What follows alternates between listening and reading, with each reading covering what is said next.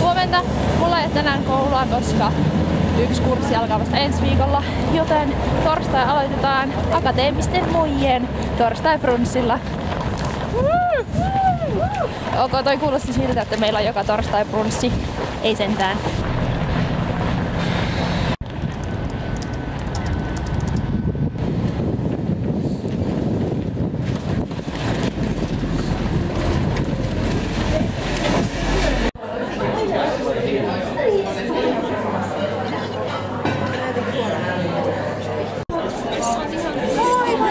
Onneksi tää tämmöstä, kato, aihetta.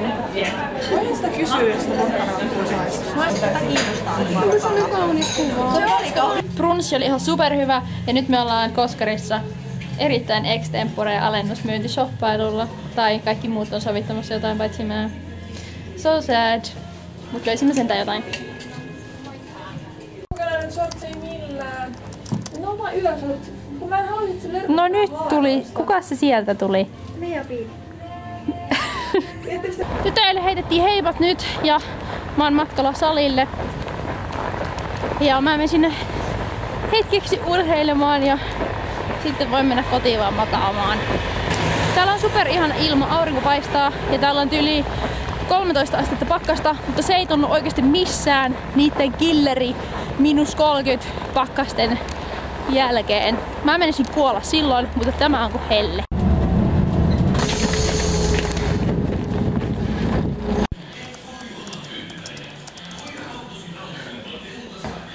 Nyt on salireeni ohi. Mä olin oikein personal trainerin reenissä. Ja se oli ihan supersiistiä. Tää oli siis vaan tämmönen kokeilukerta. Mutta se olisi ihan supersiistiä, jos olisi oma personal trainer niin kuin joka viikko treenaamassa sua. Mutta se on niin törkeä kallista, että ei byge.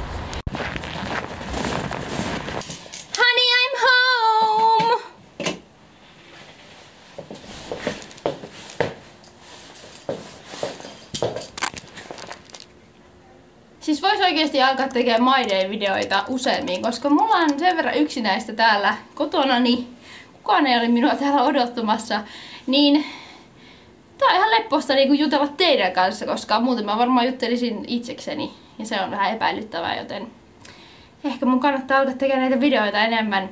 Mitäs mieltä olette asiasta? Kiinnostaako teitä mun My Dayt, jos mä tekisin niitä vähän useammin? Mutta nyt mä oon takas kotona. Kello on kohta puoli neljä ja mä oottelen, että Splain salainen livestreami alkaa. Mä en tiedä yhtään mitä siellä tulee tapahtumaan.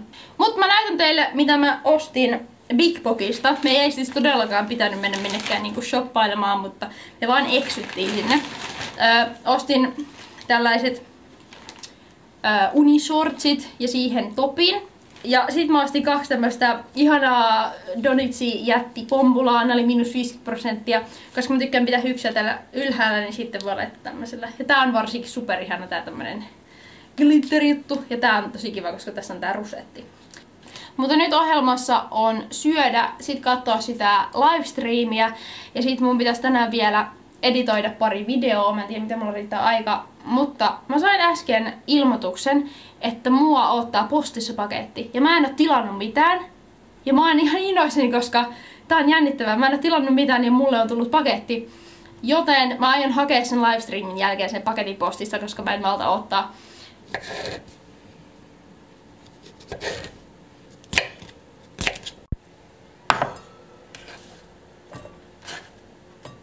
Niin, hyvät naiset ja herrat, tänään me syömme päivälliseksi pasta aglio e oli.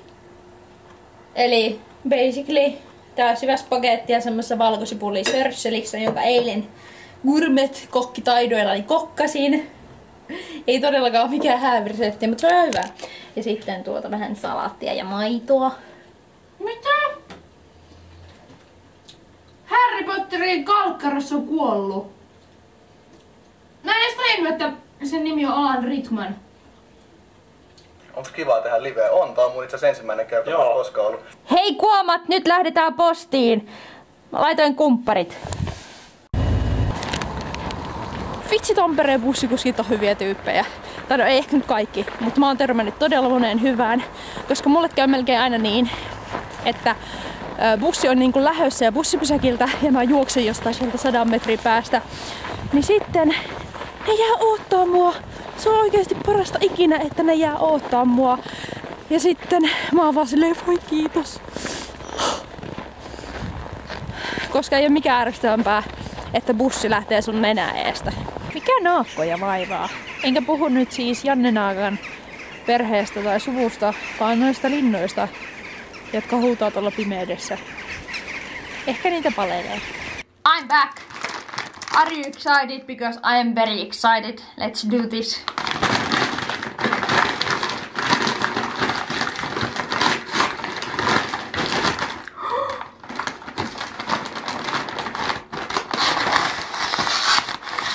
Ooh. Vitsi, vähän siistiä.